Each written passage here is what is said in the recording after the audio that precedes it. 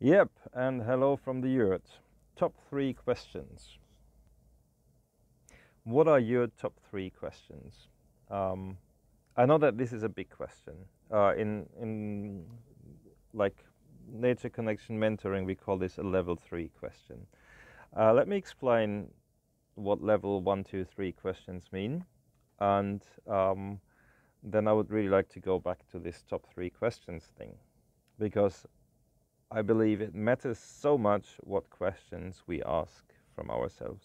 Questions is what kind of moves at least me forward in life. What what uh, motivates me to keep going is to find uh, good questions. So uh, one of my top three questions actually is what are your top three questions? It's a question that I've been asking a lot, a lot, a lot in the last years since I came up with this question or since this question found me. Um, and asking for people's top three questions has brought me so much wisdom. Uh, a few examples. Um, what is enough? Cool question, right? Like this was a, a reply to my question, what are your top three questions? Um, what is enough? Another one is, um, what do I do next? Uh, one of my favorites, what can I want?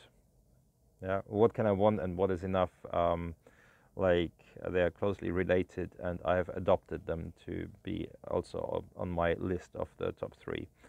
Um, and so let's let's go into this uh, this different levels of questions.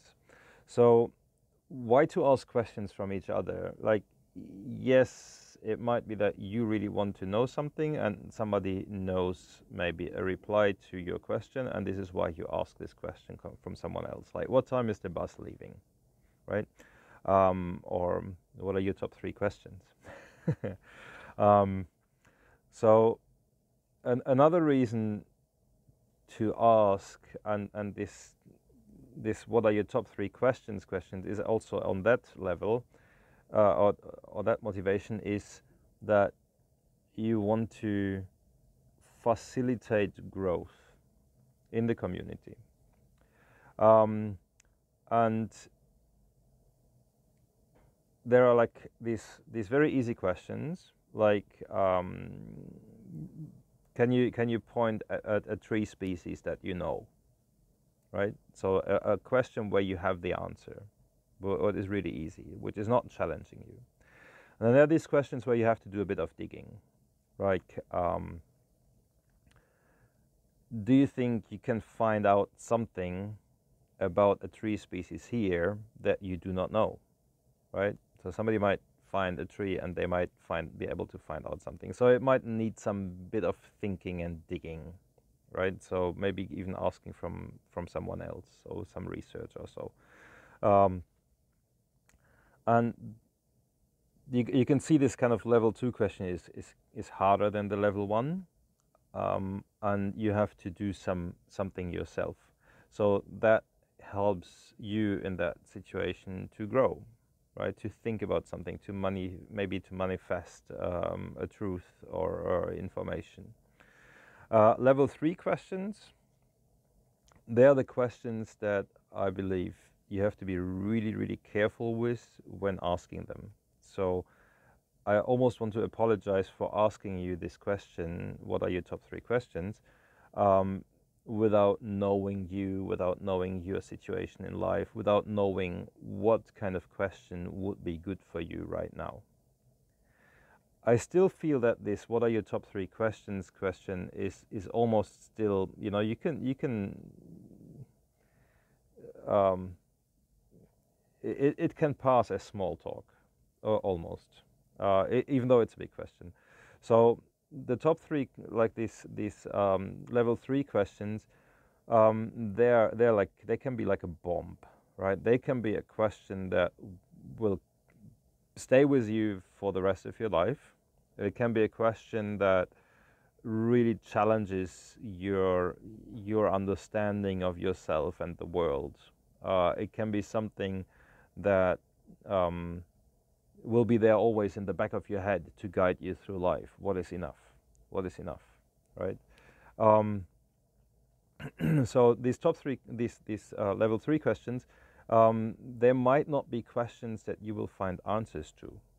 The question might be there as a guidance, but you might not find answer to this question, uh, or the, the answer might change over time. And you'll be aware of that the answer might change over time because your situation of life will change.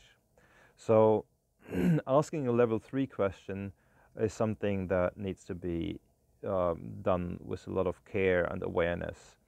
Um, and you shouldn't, um, I, I, personally think it's not a good idea to ask a level three question if I'm not sure that the person can take it and if it's the suitable question for this person. Because th these questions, they can be so tricky that you really want to get it right. So I believe that to ask level three questions from others, it's good to know something about this other person, know what state of life are they in, what state of um, maybe also physical or, or, mental health they are in. Can they even take this question, or will it like, you know, be be be be the nail in the coffin on their depression? So these are these three layers: um, level one, level two, level three questions. Um, level three questions, I, I personally love them um, when I ask for what are your top three questions, I'm always hoping to get a, a level three question. Uh, I'm I'm I'm so in love and passionate about wisdom and questions um, because it gives me so much growth and so much to to um, you know use my noggin. Um, so usually I find it that these top three questions in my life they might change. It might change the order, and the, the questions might change. Uh, I think for sure this "What are your top three questions?" question is is probably going to be there for some time.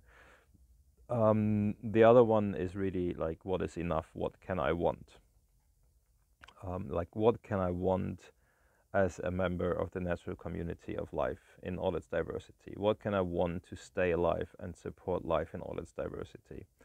Um, so this, what is enough, what can I want, they are kind of pretty similar. And on the third level, or not third level, like the other third, there are a couple of candidates. Um, and they change, um, and I'm not having anything in the moment where I feel like, yeah, that is the one. So I thought I wanted to share this with you. Um, I think it's, um, yeah, neat thing to um, to also have meaningful conversations and go into depth. That's it for now. Have a good time. Love you. Bye bye.